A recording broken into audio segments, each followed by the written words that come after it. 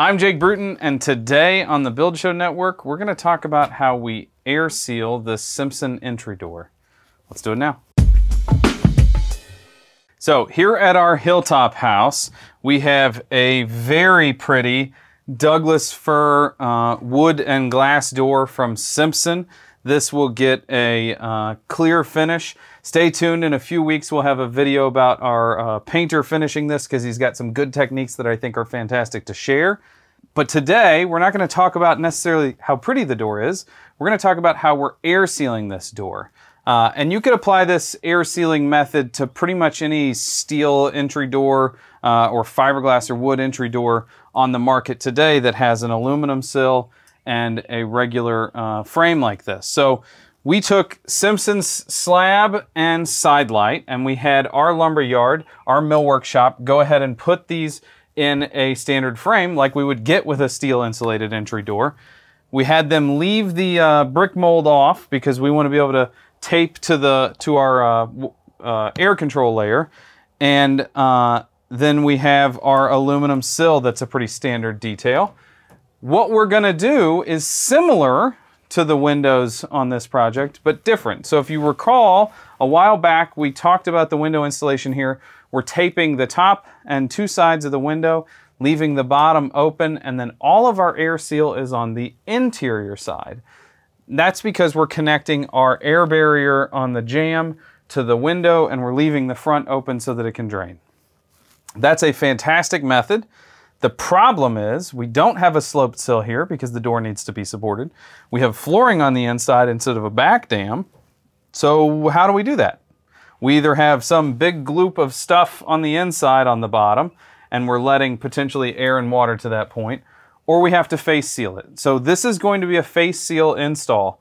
And the reason we're okay with that is we're under about a eight foot overhang here or a seven foot overhang here. And so this door is probably never gonna see water.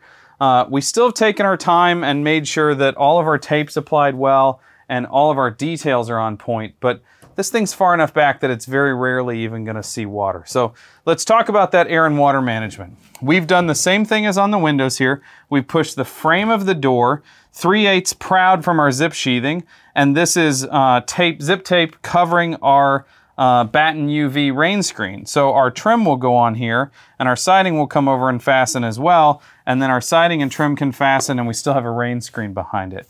We have a little divot in our tape between the frame and our uh, rain screen so that we have a little bit of a drainage plane between the two. And we've taped the sides and the head, and we've done that detail on those three sides. We're watertight on those three sides. So then we just have to worry about how we're dealing with uh, what little moisture might get down below or splashback and air sealing. So if you're familiar with the aluminum uh, sills, they're not a solid block of aluminum. There's fins that grow in height to support the, uh, the angle of this aluminum. We happen to have one of those fins hanging down low enough that we're literally just going to take a bead of liquid flash and run all the way across and then cap it on the end here.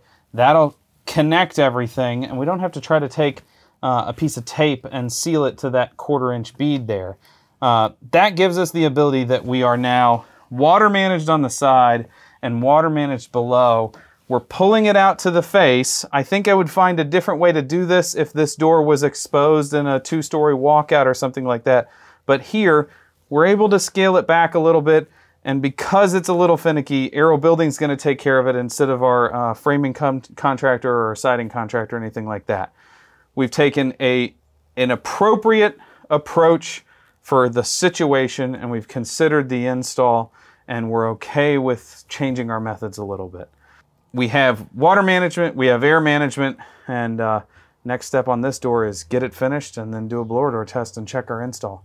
So make sure you sign up for the newsletter. Matt, Risinger sends a, an email every Friday. He talks about all the content that Braid, Braid, Brent, Wade, Steve, and himself and I are putting up every week. It's awesome stuff. I learn from those guys every week. I'm super happy to be involved. Don't forget to follow me on Instagram. It's jake.bruton. Till next time on The Build Show, thanks for watching.